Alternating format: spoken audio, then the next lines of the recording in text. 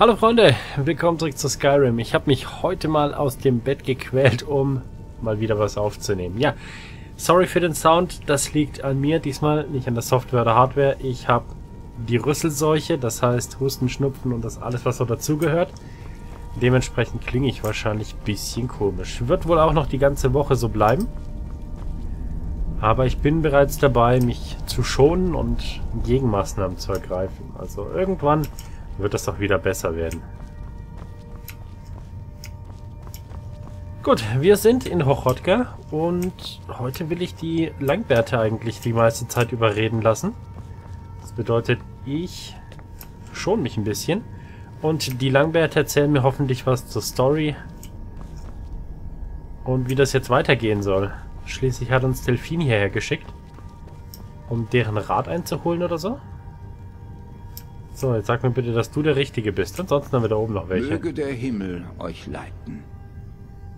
Wenn ich die ganze Zeit nach oben gucke, dann trete ich in irgendwelche Sachen rein. Das will ich bleiben lassen. Möge der Wind euch leiten.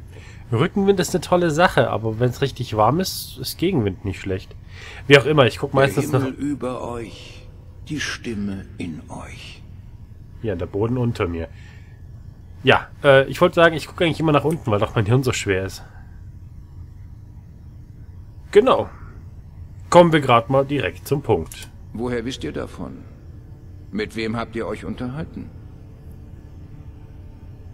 Es ist extrem unhöflich, eine Frage mit einer Gegenfrage zu beantworten.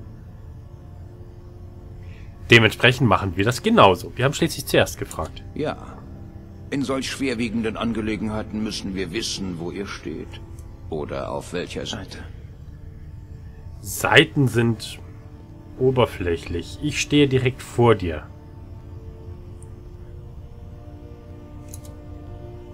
Wenn ihr allein dastehen wollt, bitte.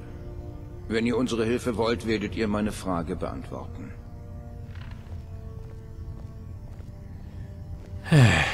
Alter, sturer Mann, das gibt's ja gar nicht. Woher wisst ihr von einem Schrei, mit dem Alduin besiegt wurde? Oh, das wird gefragt in einem Kreuzworträtsel, ich hab's rausgekriegt. Die Klingen, natürlich. Sie mischen sich besonders gern in Angelegenheiten ein, die sie kaum verstehen. Ihre rücksichtslose Arroganz kennt keine Grenzen. Sie wollten schon immer jedes Drachenblut vom Pfad der Weisheit abbringen. Habt ihr nichts von uns gelernt? Nein. Wollt ihr als Werkzeug in den Händen der Klingen enden, nach ihrem Belieben zu ihren Zwecken eingesetzt? Ja? Ne, eigentlich nicht. Aber wichtig ist, dass Alduin aufgehalten wird. Der macht hier alles kaputt. Ne? Hm. Hm, das glaube ich nicht. Die haben doch Geheimnisse. Das klingt eigentlich nicht so schlecht. Was ich will, ist unwichtig. Ach, Dieser jetzt? Schrei wurde bereits vorher verwendet, nicht wahr? Und hier sind wir nun wieder. Habt ihr schon einmal in Erwägung gezogen, dass Alduin vielleicht gar nicht besiegt werden soll? Jene, die ihn in grauer Vorzeit besiegt haben, konnten dadurch den Tag der Abrechnung nur verschieben. Sie konnten ihn nicht aufhalten. Wenn die Welt enden soll, dann soll es wohl so sein. Lasst sie enden und neu geboren werden. Finde ich aber ziemlich blöd. Wie wäre es, wenn wir das nochmal ein paar tausend Jahre rausschieben und sehen, wo wir dann stehen? Nein, nicht jetzt. Nicht bevor ihr wieder auf den Pfad der Weisheit zurückkehrt.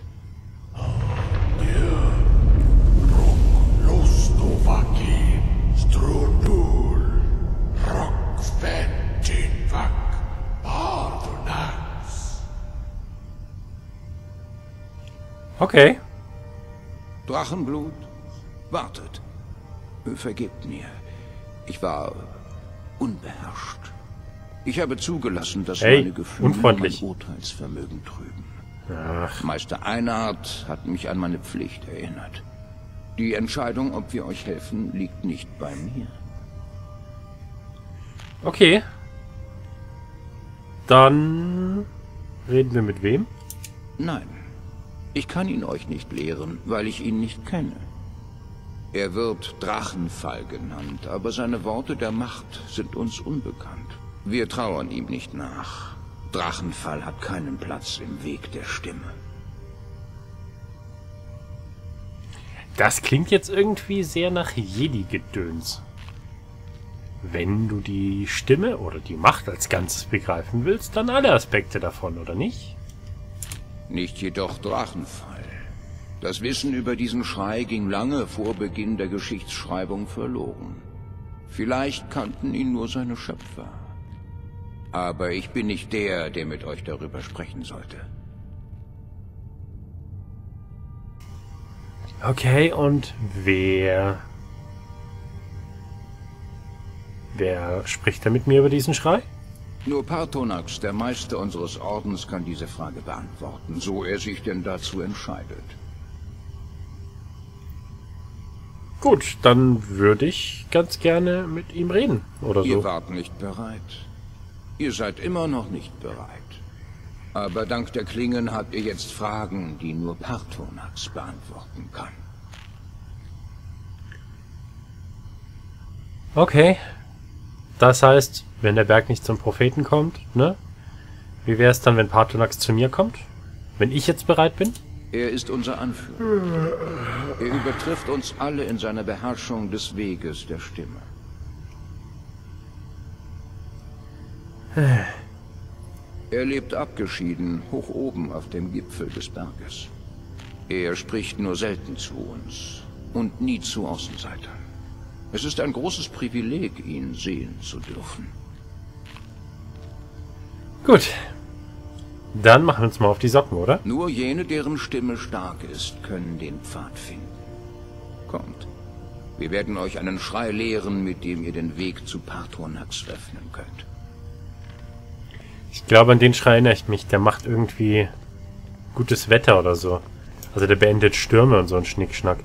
Das bedeutet, wenn wir wieder im Freien unterwegs sind und bekommen Nebel, Regen, sonst was, können wir damit, glaube ich, Sonnenschein provozieren. Na gut. Dann warten wir jetzt auf die Graubärte und dass die uns den Schrei beibringen. Wird ja wohl kaum zwei Wochen dauern, oder? Also da haben wir sie ja schon.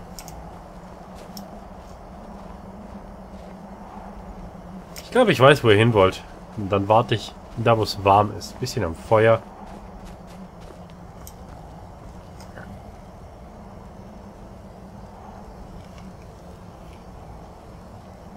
Naja, die alten Männer, die, die haben quasi schon Rente. Die haben Zeit ohne Ende.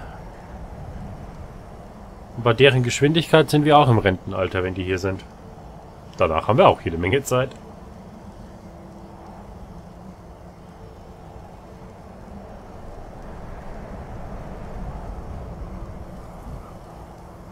Nur nicht hetzen, Mädels.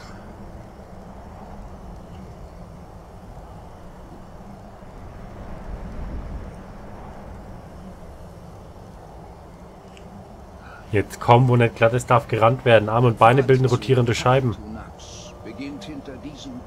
Aha, Ich werde euch zeigen, wie ihr den Weg öffnet. okay. Ich erwarte, dass beim Gehen Kondensstreifen an den Ohrläppchen entstehen. Lock. Clear Skies. Na also.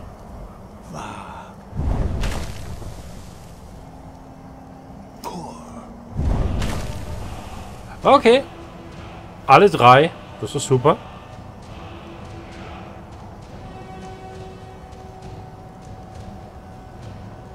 Damit machen wir es eine ganze Woche hell am Himmel, oder? Die Worte warten. Ja, ich warte auch. Gut, schauen wir mal.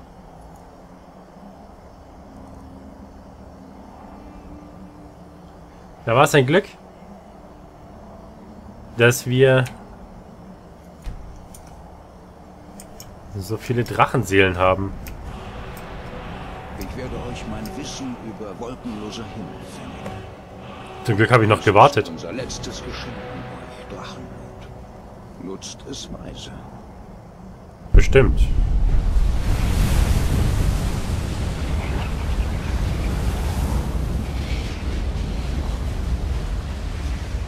Wolkenloser Himmel wird den Nebel wegbringen, aber nur für kurze Zeit.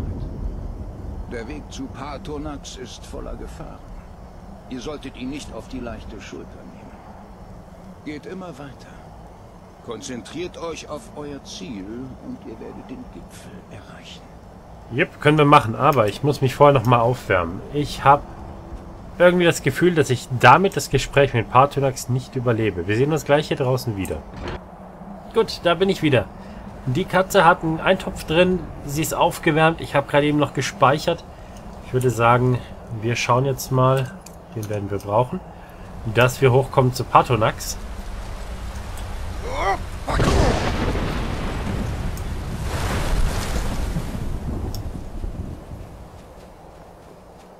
Ich finde das jetzt allerdings ein bisschen blöd. Ich habe gerade eben bewiesen, dass ich den Schrei habe.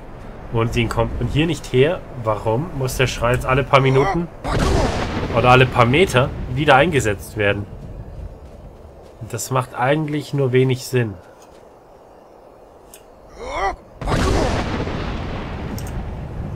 So wie wir das Spiel gemoddet haben, gibt das ein wenig äh, Schwierigkeitsgrad. Ganz einfach, weil wir auf den Cooldown des Schreis warten müssen. Und in der Zwischenzeit wird es wohl etwas kühler.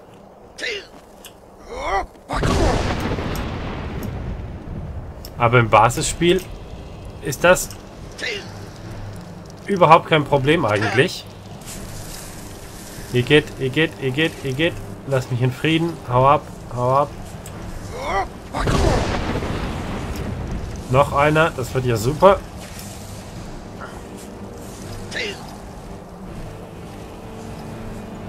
Ich mag diese Dinger nicht. So ganz und gar nicht. Auf Legendär sind die richtig ätzend.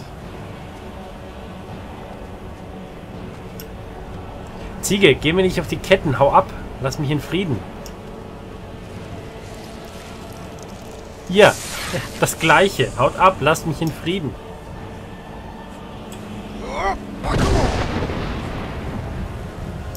Gibt's hier überhaupt nicht. Naja, im Moment sieht es noch gar nicht so schlecht aus.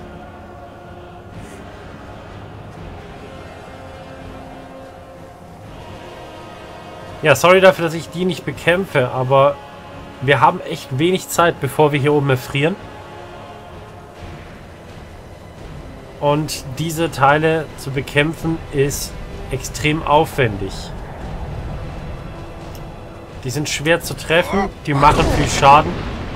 Besonders auf Legendär. Und die halten auch noch einiges aus. Dementsprechend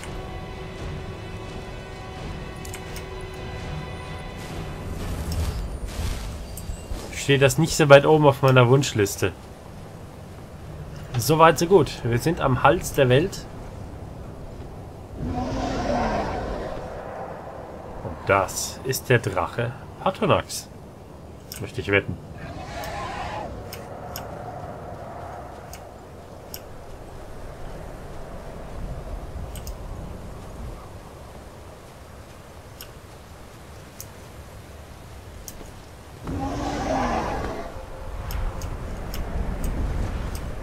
Komm schon raus, ich habe schon begriffen, dass du mir nichts tun willst. Und ich bin auch nicht hier, um dich platt zu machen.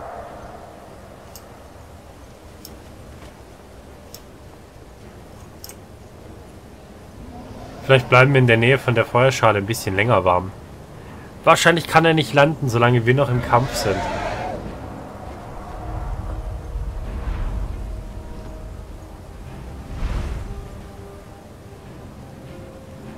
Was natürlich ziemlich ätzend ist.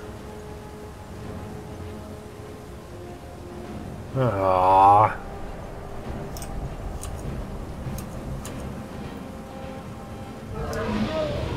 Und dann werde ich wohl warten müssen, bis das Auge geschlossen ist, die Eisteile uns nicht mehr verfolgen und der Kampf aufhört, ganz offiziell. Dann sehen wir uns gleich wieder. Seid gegrüßt, Wundunik. Ich bin Parturnax. Wer seid ihr? Was bringt euch zu meinem Strunmach, meinem Berg? Äh, servus, ich bin die Zahnfee. Ich bin hier um... Naja, egal. Hm. Spielen wir nicht lange rum, auch wenn der Drache nur freundlich sein will oder höflich. Ja, Vasa. Ihr sprecht die Wahrheit, Dovahkiin. Vergebt mir. Es ist lange her, dass ich ein Tinwag mit einem Fremden hatte. Ich habe der Versuchung nachgegeben, unser Gespräch zu verlängern. Kein Problem. Reden wir ein bisschen. Überhaupt kein Problem. Evena Balok. Es gibt manchen Hunger, den man besser unterdrückt, als ihm nachzugeben. Drechni nach Kieb. Disziplin bei den kleineren Dingen im Kachna. Verleugnung der größeren. Sagt mir, warum seid ihr gekommen, Volan? Warum stört ihr meine Meditation? Ich dachte, ich mache eine Leine dran und lasse einen Drachen steigen. Frag nicht so. Drem, Geduld. Es sind Formalitäten einzuhalten beim ersten Zusammentreffen von zwei Doof. Hast du mich gerade doof genannt? langer Tradition spricht zunächst der Ältere. Hört meinen Tun, spürt ihn in euren Knochen, tut es ihm gleich, wenn ihr Dovahkiin seid.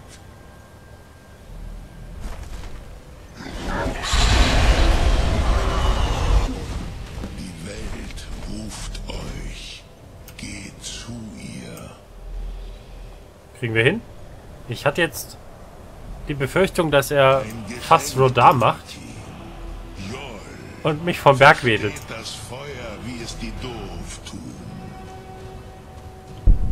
Das wäre fantastisch. Im Moment ist mir hauptsächlich kühl. Ein bisschen Feuer wäre nicht schlecht. So, lass mal gucken. Warum zaudert ihr? Weil ich es noch nicht gelernt habe, hetz mich nicht. Du bist so alt. Da solltest du irgendwann Geduld haben. Seid ihr Dovahkiin oder nicht? Ah, Bitteschön. Glücklich? Ah, Ich muss dieses Ding anzünden. Euch nicht. Fasst Lasst mich die Macht eures Tums spüren. Ich soll dich anschreien. Das wäre aber richtig unhöflich, oder? Aber bitteschön, wenn du drauf bestehst. Kommt, Dovahkiin. Ninjol. Trefft mich mit dem Feuer eures Tums. Ah, ja. Sossedorf Losmul. Das Drachenblut ist stark in euch. Aha. Es ist lange her, seit ich das Vergnügen hatte, mit einem meiner eigenen Art zu sprechen. Super. Es wäre mir lieber, wenn die Heizung warm wäre hier. Ihr habt also zu mir gefunden. Kein leichtes Unterfangen für einen Jor. Sterblichen. Selbst für ein Dovassos. Drachenblut. Was wollt ihr von mir wissen? Ja. Kommen wir gleich zur Sache. Mich fröstelt's ein wenig. Ah, ich habe euch erwartet. Proda.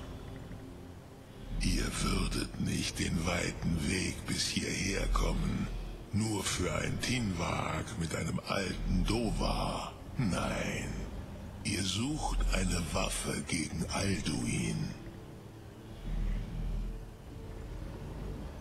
Richtig.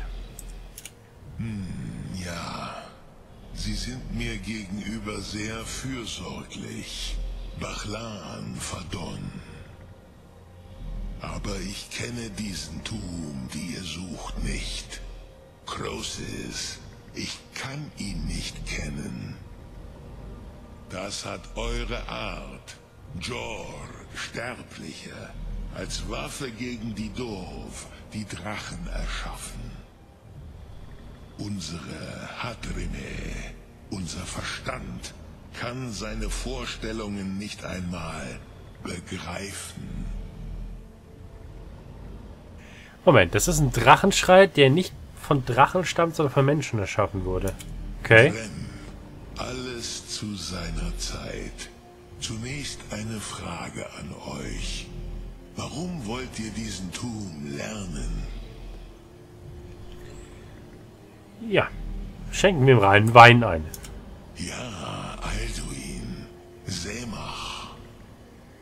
Der ältere Bruder, talentiert, habgierig und schwierig, wie es bei Erstgeborenen so häufig der Fall ist. Aber warum? Warum müsst ihr Alduin aufhalten? Oh, weil mir kalt ist. Prusa. Dieser Grund ist so gut wie jeder andere. Viele teilen eure Meinung, wenn auch nicht alle. Du kriegst nie alle unter einen Hut. Manche würden sagen, dass alles einmal enden muss, damit etwas Neues entstehen kann. Vielleicht ist diese Welt einfach das Ei des nächsten Kalbar. Lane Vukin. Würdet ihr verhindern wollen, dass die nächste Welt entsteht? Ich bin immer wieder für ein neues Spiel zu haben, aber erst wenn das alte abgeschlossen ist, oder?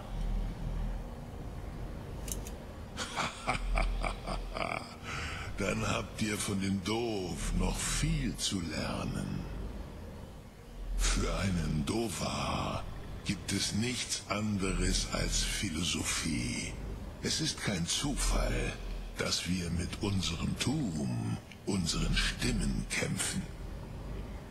Für einen Drachen gibt es keinen Unterschied zwischen Debatte und Kampf. Tinwa Glosgra, das ist für uns ein und dasselbe. Aber ihr habt meiner Schwäche für Sprache schon zu lange nachgegeben. Crossis, jetzt werde ich eure Frage beantworten. Ja, also. Wisst ihr, warum ich hier lebe? Auf dem Gipfel des Monaven, den ihr den Hals der Welt nennt? Wegen der wunderbaren frischen Luft? Oder... Richtig. Aber nur wenige erinnern sich daran, dass dies genau die Stelle war, an der Alduin von den alten Zungen besiegt wurde. Warucht Unslad.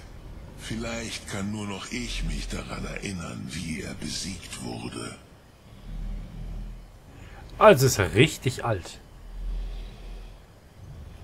Und auf dem Gipfel gegen Alduin zu kämpfen, das ist nicht lustig. Ja und nein. Wie Gnus Nikron. Alduin wurde nicht wirklich besiegt. Denn sonst wäret ihr heute nicht hier, um zu versuchen, ihn zu besiegen. Das stimmt wohl. Die Nord jener Tage wandten den Drachensturzschrei an, um Alduin auszuschalten. Aber das war nicht genug. Ork Mulag Unslad. Es war die Kell, die Schriftrolle der Alten. Sie haben sie angewandt, um, um ihn hilflos den Strömungen der Zeit auszusetzen. Okay, also brauche ich außerdem noch so ein richtig altes Stück Papier, ja? Wie soll ich das in eurer Sprache erklären? Die Dorf haben Wörter für solche Dinge, die Jore nicht haben. Es ist ein Artefakt von außerhalb der Zeit. Es existiert nicht, doch es hat immer existiert. Rach Wachlan. Sie sind ähm, Fragmente der Schöpfung. Die Kelle, Schriftrollen der Alten, wie ihr sie nennt, wurden häufig für Prophezeiungen verwendet. Ja, eure Prophezeiung entstammt einer Schriftrolle der Alten. Aber dies ist nur ein kleiner Teil ihrer Macht. Sofas Suljek. Sofas gibt's auch. Ein bisschen hinsetzen wäre toll. Hat Sitzheizung? Sichtlich. Einige hatten gehofft, er wäre für immer verschwunden. Für immer verloren. Meje. Ich wusste es besser. Tid Bo Amativ. Die Zeit fließt ständig weiter. Eines Tages würde er auftauchen.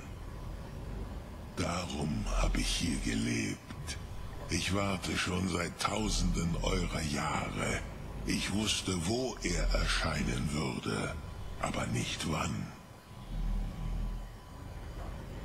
Das heißt, Alduin wird nicht besiegt, man schickt ihn immer in die Zukunft und dann hat irgendeine spätere Generation wieder damit zu kämpfen. Hm.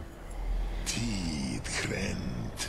Die Zeit wurde hier zertrümmert wegen dem, was die alten Nord-Alduin antaten. Wenn ihr diese Kell, diese Schriftrolle der Alten, hierher bringt, zur Tid Achran, der Zeitwunde, mit der Schriftrolle der Alten, die zum Zertrümmern der Zeit verwendet wurde, könnt ihr zurückgehen zum anderen Ende der Bruchstelle. Ihr könntet Drachensturz von denen lernen, die ihn geschaffen haben.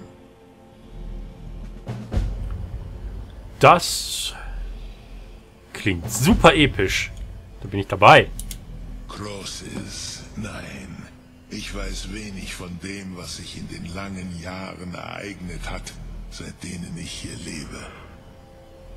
Ihr seid vermutlich besser informiert als ich.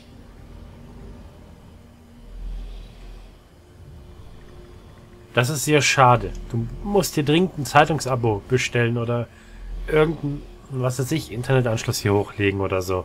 Du musst auf dem Laufenden bleiben, Junge. Vertraut euren Instinkten, Dovahkin. Euer Blut wird euch den Weg weisen. Fantastisch.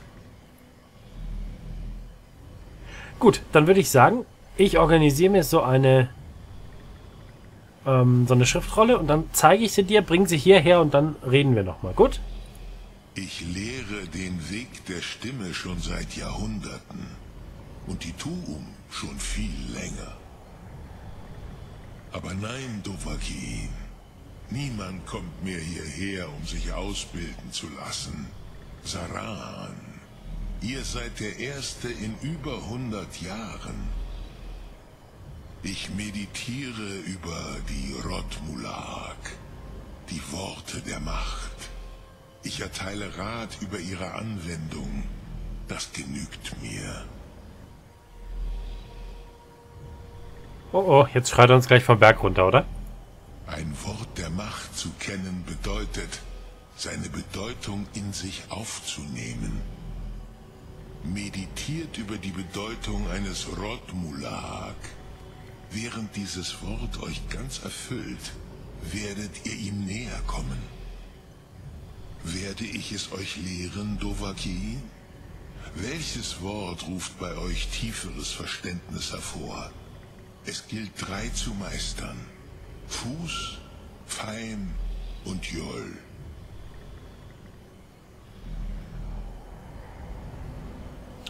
Fuß kennen wir bereits. Joll kommt mir sehr bekannt vor. Wir nehmen mal Feim. In eurer Sprache bedeutet es dahinschwinden. Sterbliche empfinden eine stärkere Verbundenheit zu diesem Wort als die Doof.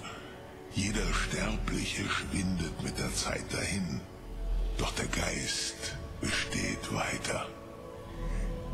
Denkt über die Bedeutung des Geistes nach.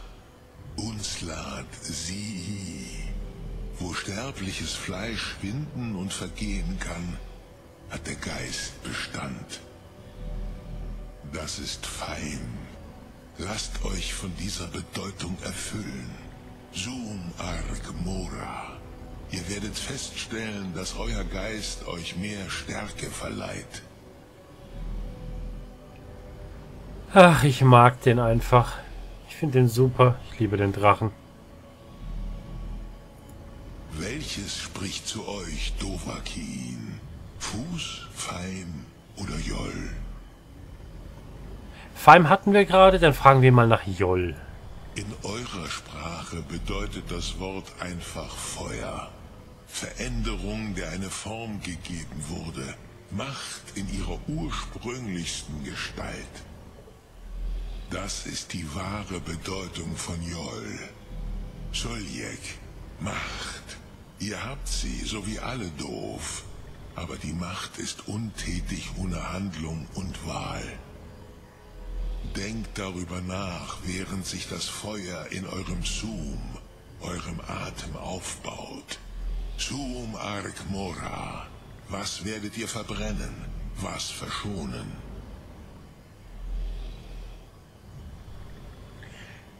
Wie gesagt, ich liebe diesen Drachen. Der ist wirklich fantastisch.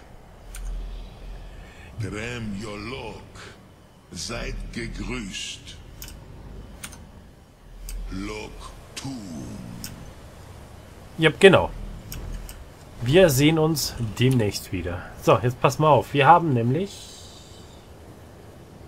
Ätherische... Jetzt hatte ich eigentlich gehofft, dass wir da noch neue Sachen kriegen, wo wir unsere Drachenseelen investieren können. Schade. Wohl nicht. Okay, für heute würde ich sagen Feierabend. Ich mache mich jetzt erstmal auf den Weg runter von dem Berg, in der Hoffnung, dass ich das überlebe. Und wir sehen uns dann in der nächsten Episode bei den Graubärten unten und überlegen mal, was wir mit unserem neu gewonnenen Wissen anfangen. Bis dahin, macht's gut, haltet die Ohren steif. Ciao, Freunde.